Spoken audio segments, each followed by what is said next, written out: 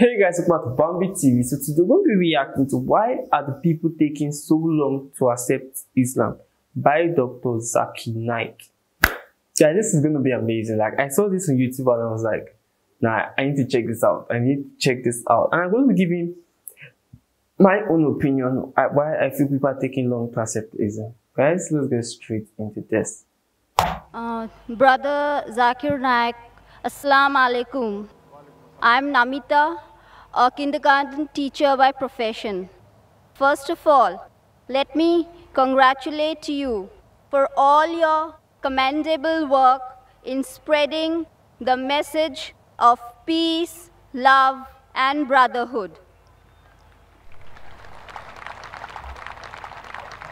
I want to ask you, Brother Naik, if Quran is the God's word, if Islam is truly the way of life, then why are people taking so long in realizing and accepting it?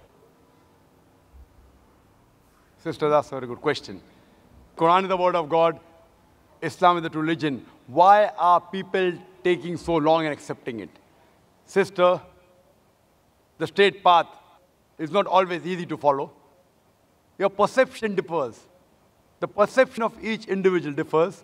For example, a person who may not be following Islam, oh, if I accept Islam, he may be an alcoholic. I'll have to stop having alcohol. I may have to stop going out with girls and dating. So then that will prevent him. So what he thinks, okay, fine. Guys, I want to ask a question. Don't you guys date like to be honest there, me personally, I feel I'm not in for relationship or dating yet, but I'm not interested for now, but like I just wanted to add, but it would be better for you to date someone so you can get to know the person before you marry. But sometimes it will lead you to doing committing sins, sins, sins. I get, I get the point, but like, please answer this question. Don't you date like, this is actually, I think the second time I'm hearing it, but please answer this in my comment section. Islam may be good, but I don't want to stop my alcohol. I don't yeah. want to stop going out flirting with girls. I don't want to stop having pork. So when you learn, there may be certain hitches that may come. Maybe a person may not be alcoholic. Maybe he may not be having pork, but he may think, okay, now I accept Islam. That means for 40 years I was a fool. Oh, I better not accept Islam. Some may think, if I accept, what will my friend say? What will my mother say? What will my father say? So all these obstacles, sister, only if you can overcome these obstacles, can you accept the truth. So therefore, what you have to realize, that the message is clear. The message is logical. It's absolutely clear. But there are other things which are there in the baggage. A person has to be so strong that, fine, if this is the truth, I'm ready to accept the truth, even if I have to leave my other non-Muslim friends. And believe me, sister, this is only a perception. And many non-Muslims who have accepted Islam, and yet they have got their old friends. And people tell me, oh, Zakir, don't speak to non-Muslim, you lose the friendship. I've got very good non-Muslim friends also. MashaAllah, they respect me. You have appreciated me. MashaAllah, you're a non-Muslim. So my job is to present the truth.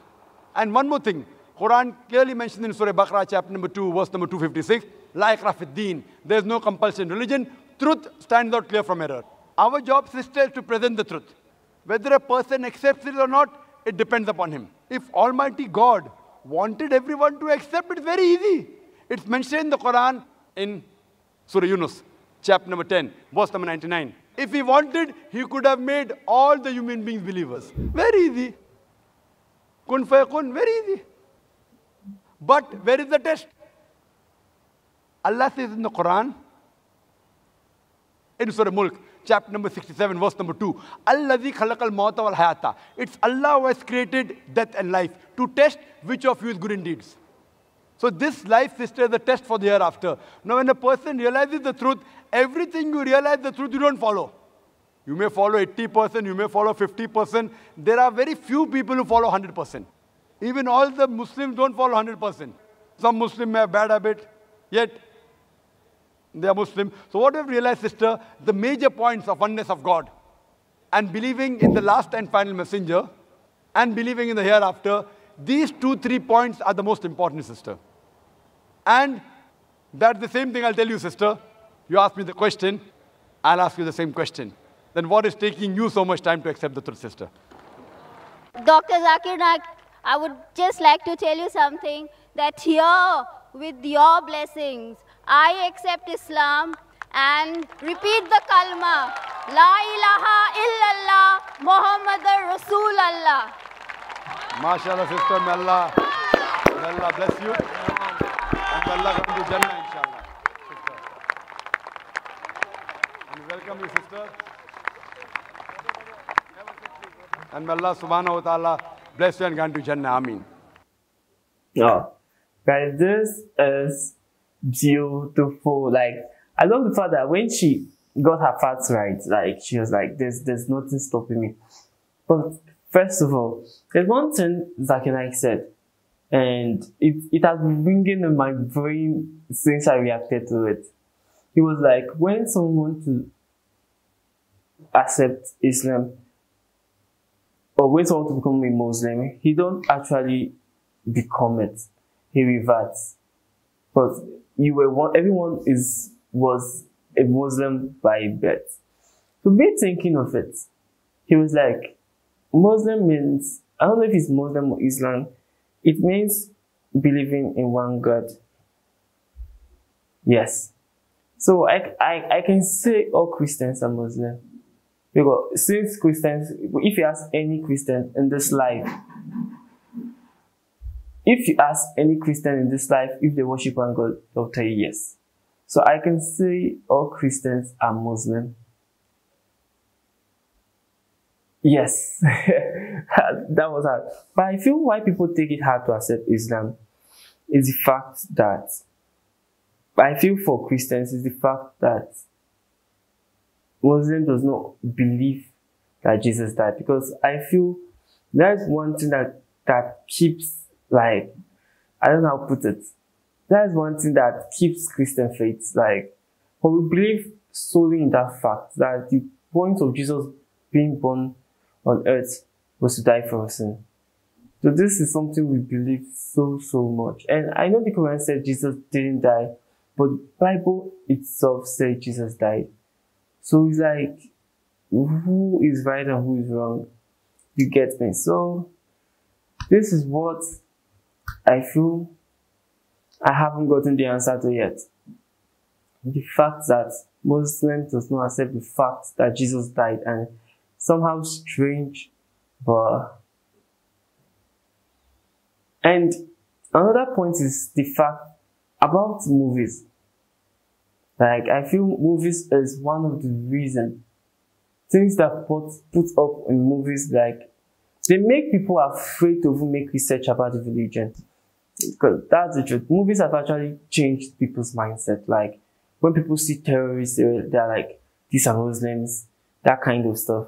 Maybe because I would say because you guys kind of have the same dressing outfit, but I feel for the fact someone is from maybe Arab, maybe someone is an Arabic does not mean the person is, even if the person is an Arabic and is a Muslim and is a terrorist, does not mean all Muslims are terrorists. That is like a tiny proportion. Let me see like 1% of Muslims that actually believe in that.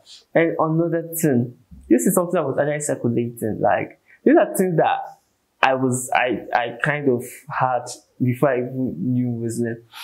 I'm saying things that me, myself, I, I don't really felt like checking out Muslim. This is another thing. There's saying, as a Muslim, if you kill someone, you're going to receive 10 virgins. I don't know if this is a myth or please explain the comment section. This is something that I actually do